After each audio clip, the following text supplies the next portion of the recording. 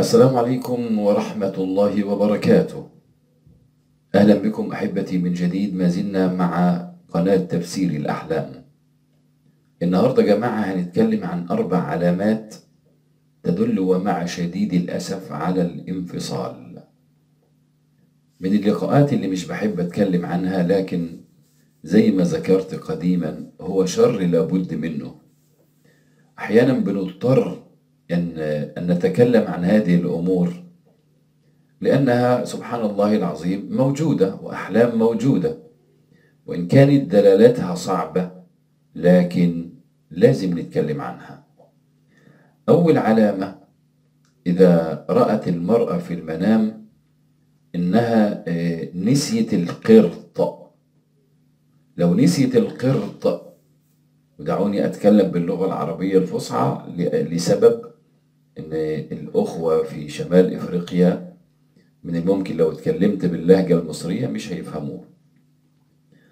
فالمرأة لو شافت إن هي نسيت القرط تبعها تعرف إن دي دلاله واضحة على فكرة والعلماء علماء التفسير ما حدش فيهم اختلف على الحاجات دي. أربع علامات ما حدش فيهم اختلف. أحيانا بنلاقي ممكن العالم الفلاني يقول الحتة دي فيها كذا وتلاقي من يخالفه يقول لا ده فيها كذا العكس. إنما الأربع نقاط أو الأربع علامات اللي هتكلم عنهم دلوقتي محدش فيهم اختلف عليها. فنسيان المرأة القرط في أي مكان ما عموما المهم إن هي شافت في المنام نسيت القرط تبعها. تعرف إن دي بشارة أو دلالة على الانفصال بينها وبين شريك حياتها. اثنين رؤية الرجل يفقد السلاسل.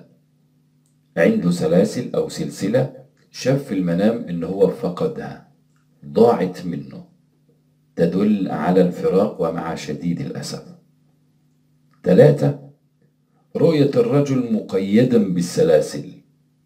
هذه تدل أيضا على الانفصال. أربعة ودي الأخيرة. رؤية الرجل الإكراه في المنام. لو شاف إن هو بيكره على شيء في المنام دل هذا على أنه سوف يفارق زوجته ومع شديد الأسف. هذه أربع علامات تدل على الانفصال ومع شديد الأسف. انتظرونا في اللقاءات القادمة والسلام عليكم ورحمة الله وبركاته.